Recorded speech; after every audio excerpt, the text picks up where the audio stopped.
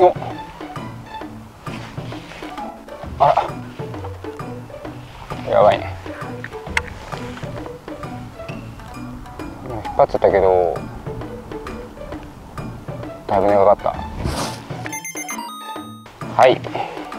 つうわけで、まあ、クランクベイト根がかっちゃうんだけどどうしても。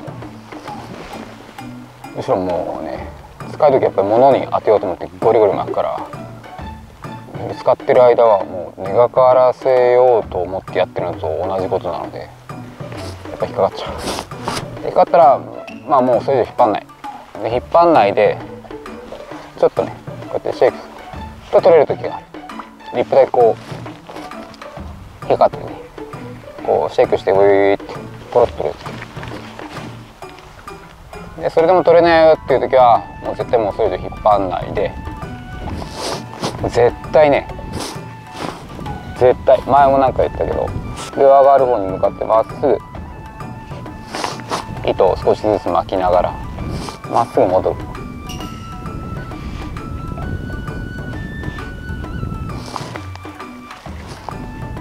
はい。真上に来ました。でやっぱここでも少しシェイク。取れないね。取れない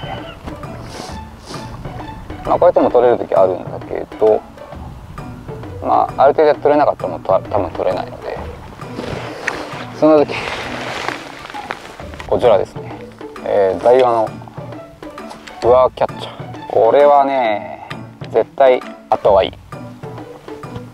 えー、値段はですね1900円ぐらいかな。2000円しないぐらいだと思います。で一応2種類ある。あの重いやつと普通のやつ。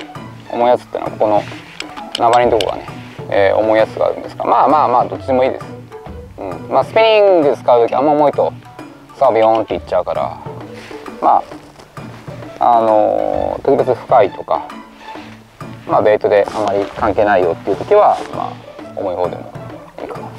まあ2個ぐらいあってもいいですねこれはね、うん、はい。で、えー、実際にねこっち糸が太い糸がこち側を引っ掛けて取るタイプです。で、えー、まあ人によってなんだけどこのねチェーンを少し多くしたりしてる人もいる。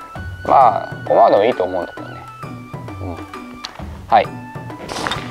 で実際の使い方、えー、この螺旋状バネ状っていうのかな、えー、2つね。えー、この糸を引っ掛けるバネがついてます。なのでこの中にね糸を通す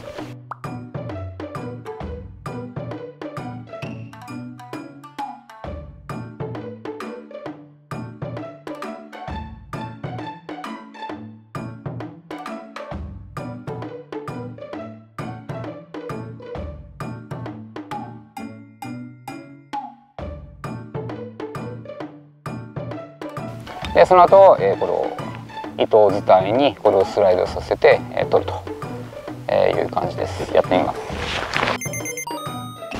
はい、えー、とりあえず真上まで来るんですがこの時に気をつけるのは、まあ、船の時なんですが船を根がかってる石の風上に置かない。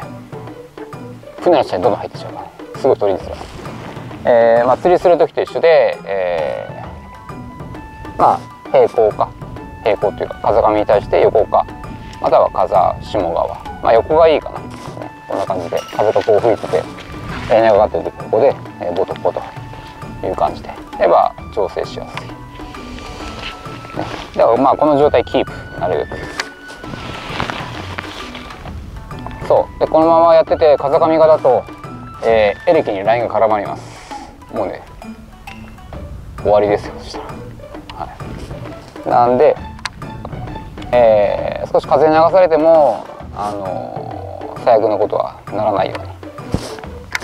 で、えー、ある程度、まあ、真上に行く状態で糸を少し緩めたこれ糸張りながらこれ糸通すとさらに根がかっちゃうのでやっぱり引っ張らない程度に少し緩めて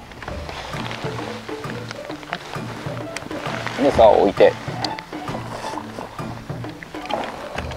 えー、通します。慣れるとねすぐ通せるようになるで竿を持って。でねここがねあれなんですが、えー、この状態。重り離して糸を持ってねこっちの回収機のリールを持ちます。でこの後ゆっくり落とします。でこの回収機のリールがこうなってるので、えー、こっち側持つと糸が出ないのでこのケース側こっちをね持ってあげる。でこの落としていく時糸は少しね張り気味。うん。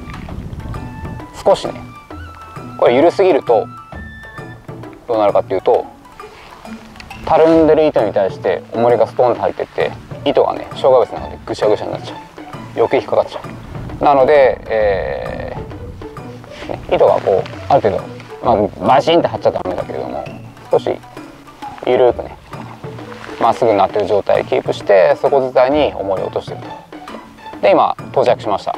回収機の部分が、え、おそらくルアーにたどり着いたはずです。でこの後チェーン部分を、えー、ルアーのフックに引っ掛けたりするんですが2通りね竿をこう揺すってあげる。あとはこっちも。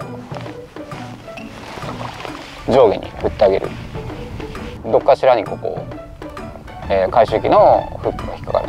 でかん軽く引っかかってる場合はもう重りがねストンっていった瞬間にルアー外れちゃいます、うん、なんでまあそれが一番楽ちんなんだけども、まあ、なんあのね、えー、なかなか引っかかんない時は、えー、しっかり揺すってあげる。最悪両方揺するかな。まあちょっとケースバイケースなんで何とも言えない、なるべく引っかかるようにね。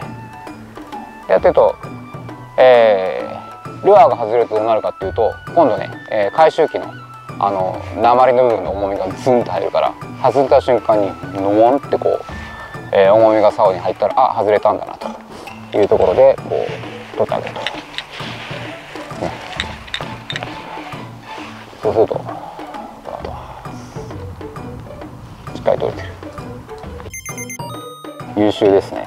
なかなかねちょっと高いのも回収機多い中やっぱりそんなにお値段せずちゃんとした結構頑丈だしね。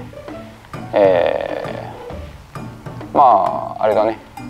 これクランクベイトなくしちゃったらもうあれだから1個でもと取れると。いうことなので。